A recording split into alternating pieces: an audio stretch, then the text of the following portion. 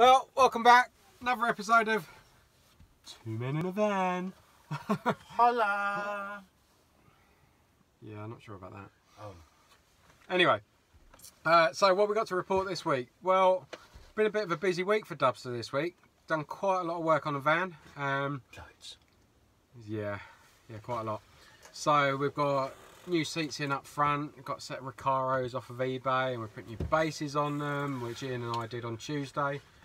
Um, we're now on Friday. Yesterday went to the van for a remap. So this is the 102 five-speed uh, T5, which is the renowned to have a weak gearbox one. Um, so we've had a, a gentle tickle on that, but I'll tell you what, she flies now. We all Uh, have a tickle like. Well, it's true. It's true. Anyway, um,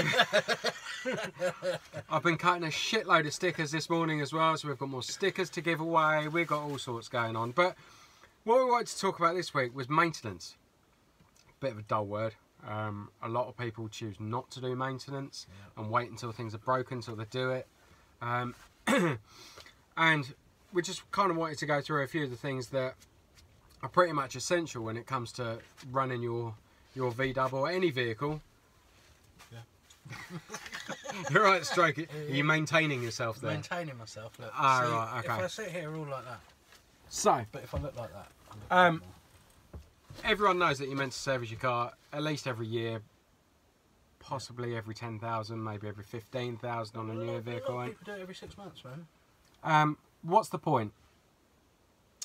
The point in in in regular servicing, basically, I have to think about it now because you put me on the spot. Regular servicing and regular maintaining your vehicle.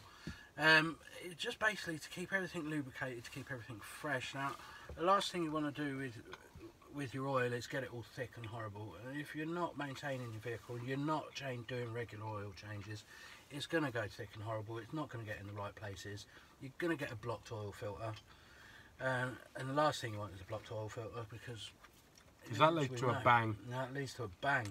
Big, Um, Big like bang. big bang. Um, and it's good to know what's going on. I mean, you can't really just run a vehicle and just expect it to go and go and go and go forever. It's like your body. You're eating sausages now. Pretty good You know, I'll if be you honest. ate loads and loads of sausages This every is single a, day, a pork sausage with uh, red caramelised onion and a gluten free, which means they're safe for you. we all like a sausage. So gluten free is another maintenance issue, isn't it? Uh-huh. Because if you don't maintain yourself with gluten free food, you are going to have real Yeah. issues. The, the shit's real bad. I was trying not to swear, but well done, mate. Stay classy. Have a sausage. Um, so I'm not a mechanic, but I also understand maintenance because I don't want big bills to come on my vehicle. And if you stay on top of your servicing and maintenance, well, firstly, you shouldn't even get those big bills um, because you do things before it gets to that point. Um, and like Ian said, you you have that understanding of what's going on with your vehicle and knowing that everything's okay and it's been looked at by a mechanic in recent times. So I can set off on a long journey and know that if something goes wrong, it's going to be a catastrophic failure and not really something that would have been covered by maintenance anyway. Um, so is, mate, it's that peace the- of mind thing. It's in the name. Maintain. Yeah, It's like, I absolutely. was, it's like I was saying, you can't expect something like that to keep something like a vehicle to go and go and go and go and go forever without maintaining it.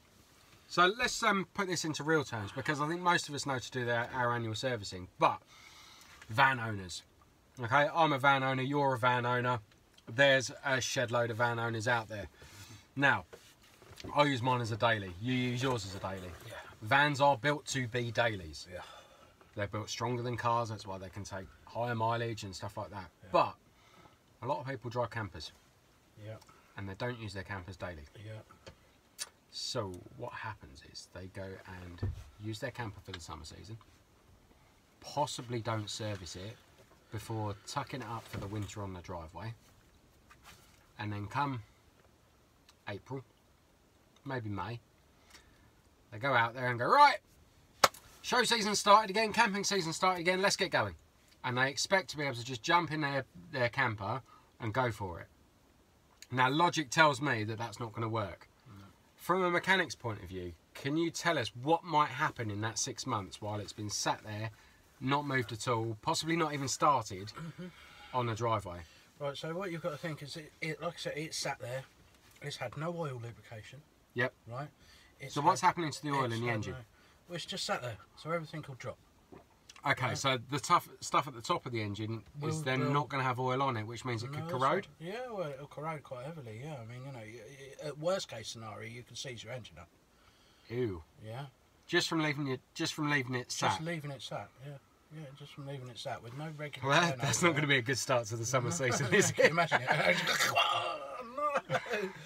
um, but yeah, I mean, you know, it will seize your engine if you sat there. It's got no lubrication. It's got no nothing. You've got So how can you? no water So how can you avoid that? So regular turnover. That's all you really need to do. Is So just what we're talking, Just turn it over. once a week, once, once a week, month? Once a week. Turn it over once a week. And what we're Um, talking, me- just run it for a minute or two, or No, no, no, no, no. I mean, you know, if you can, jump in it. yeah. Go and do a couple of miles down the road. Get things moving. Do you know what I mean? Okay. Because there's all. It's not just the engine that you've got to keep maintained. So you've got. So let's talk about the other things that, that might be a problem You then. keep interrupting me. Well, I'm trying to keep this quick so that our audience aren't getting bored by us rambling on about the same thing. Yeah, true story. So, um, next thing past like engine oil, which to me is a, a pretty obvious one, but you know, pretty cas- catastrophic failure. You've then Yeah. got gearbox. Well, that's Yeah. same theory. Same it's full of oil. Yeah. If the oil all drops, then something can corrode in there, which means it's going to become damaged more The easily. last thing you need is rust in your engine, man. Yeah, for sure. You're just gonna, yeah, you know, any kind of metal flakings or anything else in the engine, bad, bad times.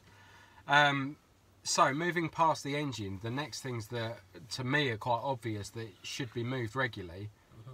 wheels and tyres. Wheels and tyres. Because brake discs, you know, all of us know that if you take your your car or van out and have it cleaned in the summer, when it's really hot and you've just driven to a car wash, and then you hit those brake discs with your nice fresh water Mhm. you leave there with a nice shine of rust all over your, All over your brake disc. Yeah. Now, that's not a problem when you're going to drive off and take that surface rust off straight away. Yeah. But I can tell you there's a car that's been abandoned near my home um, and it's been sat there about a year. And those brake discs are not going to be cleaned by the brake nice? pads.